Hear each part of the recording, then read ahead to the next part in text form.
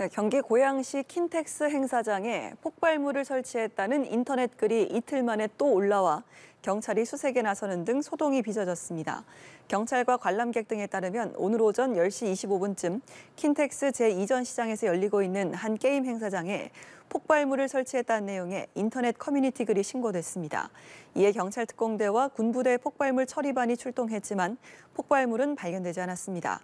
앞서 지난 1일 저녁에도 비슷한 글이 게시됐지만 폭발물은 없었고 하루 뒤 10대 학생이 행사장에 들어가려면 긴 줄을 서야 한다는 사실에 화가 나 허위 글을 올렸다고 자수했습니다.